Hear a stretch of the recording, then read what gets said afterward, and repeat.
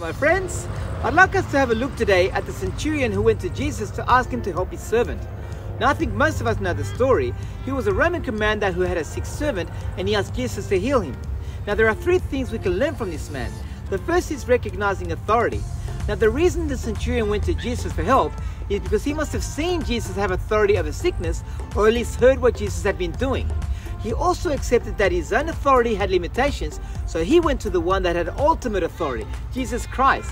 Now we ourselves have to admit that we cannot really do it all, so we have to let God do what we cannot do. Secondly, the centurion understood that words are powerful and they carry weight. He tells Jesus in Matthew chapter 8 verse 8, Lord, I do not deserve to have you come under my roof, but just say the word and my servant will be healed. The centurion understood that what Jesus spoke had power. He was humble enough to tell Jesus that he was helpless and he had the faith that Jesus would help. Whether we want to believe it or not, guys, our words have power. Proverbs 18:21 clearly states that the tongue has the power of life and death.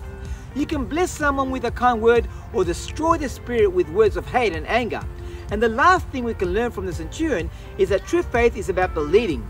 Now, as far as we know, the centurion was an army commander, he wasn't a minister, and he probably didn't go to church, but Jesus tells us that his faith superseded anyone else's.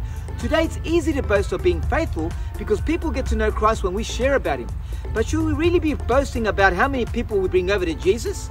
I'm just saying that we should always be giving glory to God and not boosting our own egos. Like the centurion, all we need to do is simply believe and let God do the rest.